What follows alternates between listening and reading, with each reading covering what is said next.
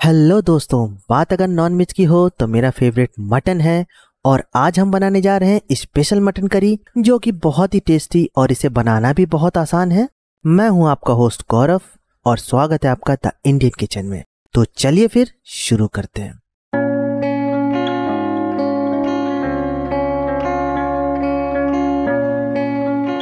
मैंने यहाँ एक के जी मटन लिया है और इसे अच्छे से वॉश कर लिया है। कोशिश करें कि आपको फ्रेश ही मटन मिले।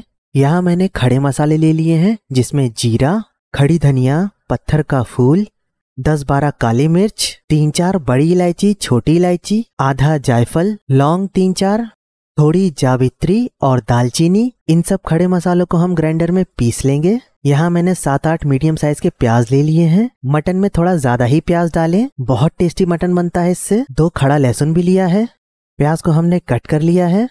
सारे खड़े मसालों को भी हमने ग्राइंडर में पीस लिया है और इसका पेस्ट बना लिया है। जिंजर गार्लिक पेस्ट भी हमने घर में तैयार कर लिया है। अब कुकर में यहाँ तेल डाल देते हैं।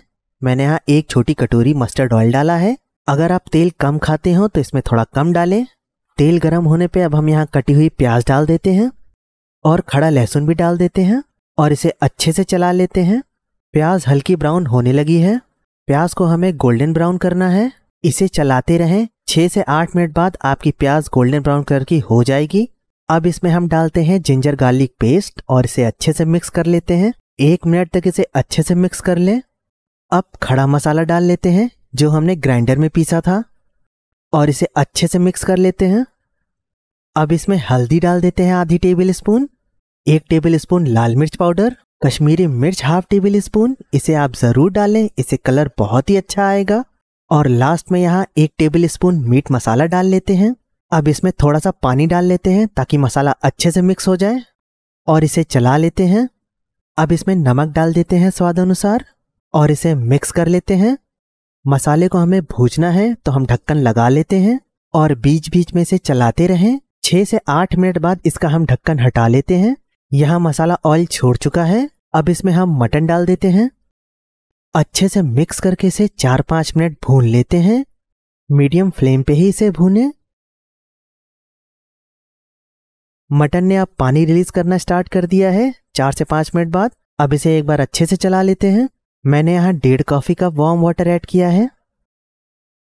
अब इसे अच्छे से चला लेते हैं और कुकर बंद कर लेते हैं। हमें यहाँ तीन से चार सीटी लगवानी है। पहली सीटी के लिए हाई फ्लेम पे ही गैस रखें। अब गैस को लो फ्लेम करके दो सीटी और लगवा लें। जब कुकर का सारा प्रेशर निकल जाए, तब हम इसे खोल लेते हैं और इसे अच्छे से चला लेते हैं। तीन सीटी लगाने के बाद, ये देखिए आपका मटन अच्छे से पक चुका है, ये आराम से टूट जा रहा है। इसमें हरी धनिया डाल देते हैं अब। अब आपकी स्पेशल मटन करी तैयार है। अगर ये रेसिपी आपको पसंद आई हो तो इसे लाइक कर लें। और चैनल पे अगर नए हो तो ज़रूर सब्सक्राइब कर लें। साथ ही बेल आइकन भी दबा लें ताकि सबसे पहले नोटिफिकेशन आपको मिलती रहे। और कमेंट करके ज़रूर बताएँ कि नेक्स्ट रेसिपी आप कौन सी देखना चाहते हैं। Thanks for watching, guys.